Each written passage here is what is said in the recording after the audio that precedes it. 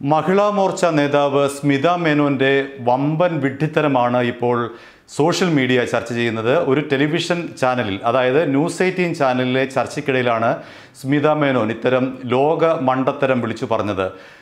ചർച്ചയുടെ വിഷയം ഈ ചെറുപ്പക്കാരെ സി പി എംകാർ ഉയർത്തിക്കൊണ്ടുവരുന്നതിനെ കുറിച്ചാണ് ആര്യ രാജേന്ദ്രൻ അതേപോലെ തന്നെ മറ്റ് നിരവധി പേരെ ഉയർത്തിക്കൊണ്ടുവരുന്നു. അവരെ നിർണായകമായ സ്ഥാനങ്ങളിലേക്ക് സി പി എം എത്തിക്കുന്നു. ഇതേ തുടർന്നാണ് ഇത്തരമൊരു സംവാദത്തിനിടയിലാണ് സ്മിത മേനോൻ പൊട്ടത്തരം വിളിച്ച് പറഞ്ഞത്. സ്മിത സ്മിത പറയുന്നത് ഇരുപത്തിയൊന്ന് വയസ്സുള്ളവരെയാണ് സി പി എം മത്സരിപ്പിക്കുന്നതെങ്കിൽ ഞങ്ങൾ പത്തൊൻപത് വയസ്സുകാരികളെയും പത്തൊൻപതുകാരെയും മത്സരിപ്പിച്ചിട്ടുണ്ട്. അത്തരമൊരു പാർട്ടിയാണ് ബി ജെ പി എന്നാണ് സ്മിത മേനോൻ പറഞ്ഞ പൊട്ടത്തരം.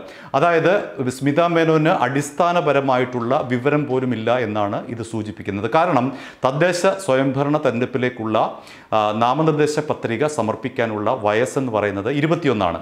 അത് ബി ജെ പിക്കാരനായാലും കോൺഗ്രസ്സുകാരനായാലും കമ്മ്യൂണിസ്റ്റുകാരനായാലും ഇരുപത്തിയൊന്ന് വയസ്സ് തികഞ്ഞെങ്കിൽ മാത്രമേ പത്രിക സമർപ്പിക്കാൻ കഴിയുകയുള്ളൂ. ഇല്ല എങ്കിൽ പത്രിക സമർപ്പിക്കാൻ കഴിയില്ല. പത്രിക തള്ളും.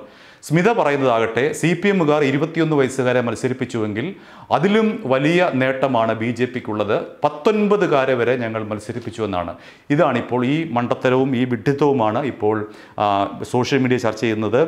മഹിളാ മോർച്ച നേതാവിന് ഇത്രമാത്രം വിവരമേ ഉള്ളൂ എന്നുള്ള ചോദ്യമാണ് ഉയരുന്നത്. തദ്ദേശ സ്വയംഭരണ സ്ഥാപനങ്ങളിലേക്ക് മത്സരിക്കാനുള്ള കുറഞ്ഞ പ്രായം ഇരുപത്തിയൊന്നായിരിക്കെയാണ് സ്മിതാ മേനോന്റെ മണ്ടത്തരം വൈറലായിരിക്കുന്നത്. ന്യൂസ് എയ്റ്റീൻ മലയാളം ചാനൽ നടന്ന ചർച്ചയ്ക്കിടെയാണ് സ്മിതാ മേനോൻ ഇക്കാര്യം പറഞ്ഞത്. ന്യൂസ് എയ്റ്റീൻ അവതാരകന്റെ ചോദ്യവും ഈ മഹിളാ മോർച്ച നേതാവിന്റെ ഉത്തരവും ഇനി പറയുന്നു. ചോദ്യം ഇത് ഇങ്ങനെയാണ്. ആ വാചകം വായിക്കാം. ചോദ്യകർത്താവ് ചോദിക്കുന്നത് അതായത് അവതാരകൻ ചോദിക്കുന്ന ചോദ്യം ഇതാണ്. സർക്കാർ നടപടികൾക്കെതിരെ ചെറുപ്പക്കാർ രംഗത്തിറങ്ങി ഉണ്ടാക്കിയ നിരവധി പ്രക്ഷോഭങ്ങൾ അത്തരം മൂവ്മെന്റുകളൊന്നും കേരളത്തിൽ സംഭവിക്കുന്നില്ല. ആ ഒരു രാഷ്ട്ര രാഷ്ട്രീയത്തോടുള്ള പ്രതിപത്തി യുവാക്കൾക്ക് ഉണ്ടാകുന്നില്ല എന്ന സാഹചര്യം താങ്കൾ ശ്രദ്ധിച്ചിട്ടുണ്ടോ? ഇങ്ങനെയാണ് സ്മിത മേനോട് അവതാരകൻ ചോദിച്ചത്. അതിന് സ്മിത മേനോ നൽകിയ മറുപടി ഇതായിരുന്നു. ബി ജെ പിയെ സംബന്ധിച്ച് പൊളിറ്റിക്കലായി യുവാക്കൾ മുന്നോട്ട് വരുന്നില്ല എന്ന് പറഞ്ഞത് പൂർണമായും തെറ്റാണ്. ഞങ്ങളുടെ പാർട്ടിയിൽ ഇക്കുറി മത്സരിച്ചവരിൽ പത്തൊൻപത് വയസ്സുള്ള കുട്ടികൾ വരെ ഉണ്ടായിരുന്നു. ഇതാണ് സ്മിതാ മേനോൻ പറഞ്ഞ ലോക മണ്ടത്തരം.